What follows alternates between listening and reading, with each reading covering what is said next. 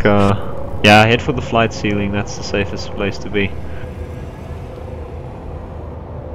And the idea is to just fly it into something, you know, that can die, not a tree.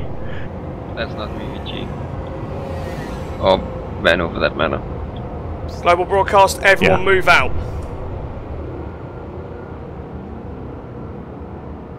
Target is up, guys. We're going over to the platoon waypoint, which will be Indar. Uh, it's going to be Indar excavation site. So they'll be moving a lot of tanks across, guys. Just move across.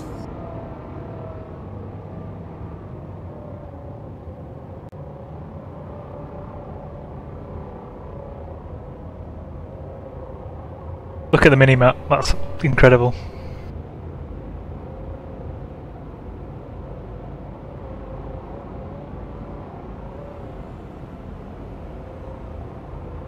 Yeah, vanguards are alive down there. Let's make them dead.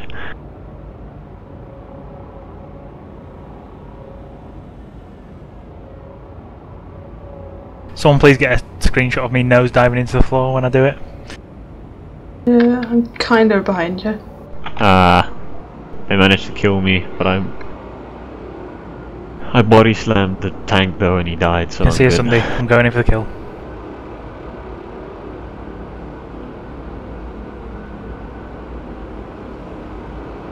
Try and ram him with your nose, not with the belly. Um, the belly doesn't do too well in terms of killing you. It just, you know, bounces off the floor. Oh! Just about to hit a Sundy and someone smashed into me. Oh, Siler got the Sundy.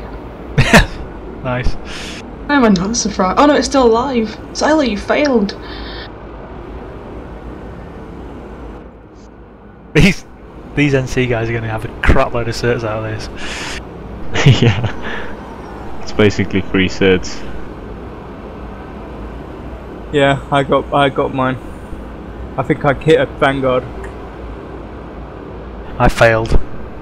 I jumped out Miserably. my galaxy, and if I C4 this, I'll be so happy. Yeah, the tank I hit was plonk, already on plonk. fire, and I just slammed him with my belly. Stuff the galaxy, I had to C4 the damn thing. But yeah, the proper way to do it, like, um, if you really want to, you know, actually use it the way it's meant to be used, is to put C4 on the nose, dive it into something, and then jump out and detonate the C4 as it goes into it.